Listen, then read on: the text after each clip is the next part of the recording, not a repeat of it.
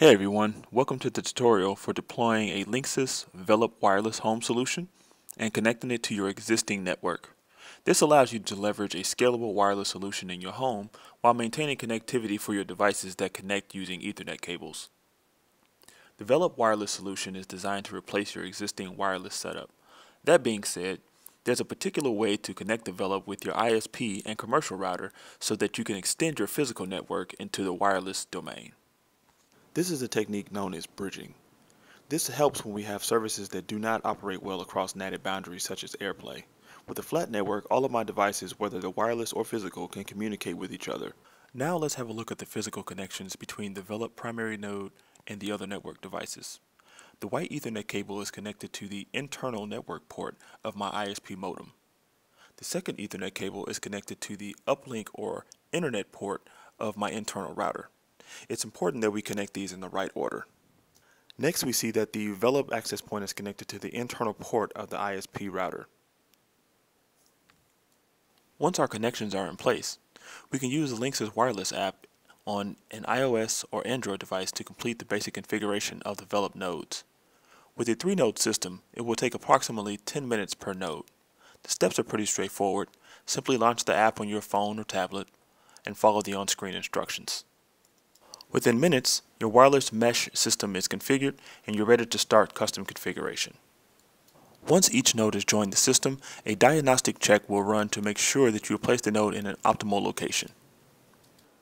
Now let's jump into the custom configuration of your Linksys wireless network.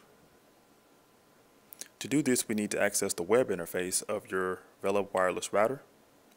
Simply type in 192.168.1.1 into any web browser that is on a system connected to your wireless setup. Once there, click on this CA at the bottom right hand corner. That will take you to the customization menu.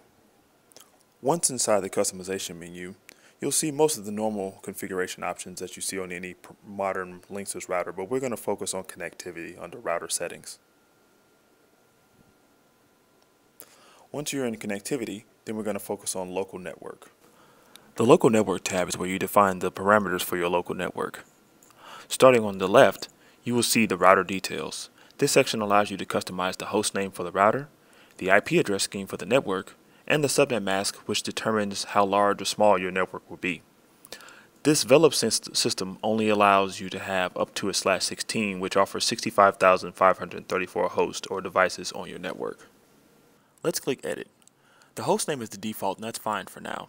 The IP address and subnet mask are the important areas I want to focus on. Since I'm replacing my internal router with this Velop router, I will use the same IP address scheme and subnet mask that was on that was configured on my internal router since this router will now be in charge of issuing IP addresses to my connected devices. Here on the right, we can configure the DHCP server options such as IP scope, lease times, and DNS options. These parameters get configured on any device that attaches to the wireless network using DHCP. Now you might be wondering, why am I replacing the IP addressing from my internal router and putting that configuration here? The answer to that is really quite simple. As I stated in the beginning, the Velop system is designed to replace your existing wireless solution. Therefore, we want the Velop system to be the core of our internal network, and the internal router will simply become an extension of the Velop system using bridging. To do this, we need to log into the existing internal router and go to the connectivity section. In my example, I have already put the internal router in bridge mode. As a result, you will notice that the configuration options have been limited to the three that you see here. Now click on connectivity. Once the connectivity menu opens, click on internet settings. And when the internet settings opens, you will have to change the connection type. If this is the first time that you've navigated to this menu since you've set up the Velop wireless access point, then you will have to change the connection type from automatic configuration to bridge mode. In bridge mode, that means that this internal router is now receiving network information from the Velop access point. So all of the information that we configured on the local network tab on the Velop is now being published to this internal router.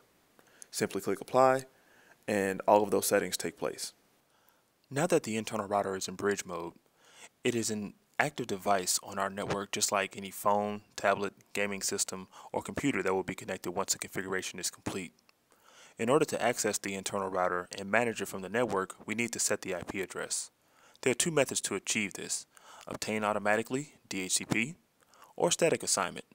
For simplicity, I am using DHCP for the internal router. Since I'm using automatic configuration for the IP addressing of this router, I can ignore the remainder of this section. If I want to find out what the IP address of this router is, simply click on Troubleshooting, Diagnostics, and on the right hand side, you'll see Internet Addresses.